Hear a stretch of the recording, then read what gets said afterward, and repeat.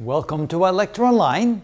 At this point that you have some basic understanding of what a capacitor is and what capacitance is, you may wonder, well, what do we use capacitors for? Well, there's a lot of different applications for capacitors, and here's just a small list of some of these, but it'll give you some idea. First of all, it can be used as an energy storing device, just like a spring or a flywheel of a car there's means of storing energy, and so capacitors can store electrical potential energy. So they are indeed used as storage devices. They can also be used as temporary voltage supplies or temporary batteries.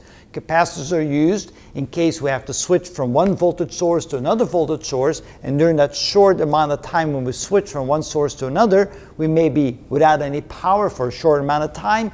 A capacitor could bridge that gap for a very short period of time, a few milliseconds, maybe even a few seconds, so that there's no interruption of voltage or power. So they're used for that as well.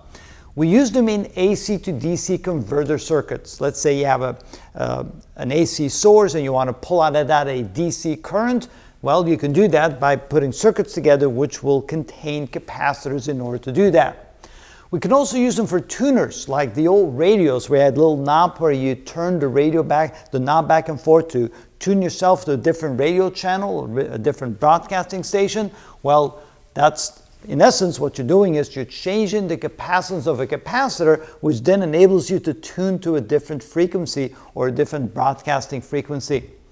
We also use them to reduce noise on ripples from voltage sources in circuitry and electronic circuitry where there could be an, an, a rippling effect because of some interaction between the components onto the circuit boards. We put capacitors around some of those to absorb that ripple to smooth things out and so we then prevent things from not functioning correctly by filtering out some of the ripples and capacitors are used for that.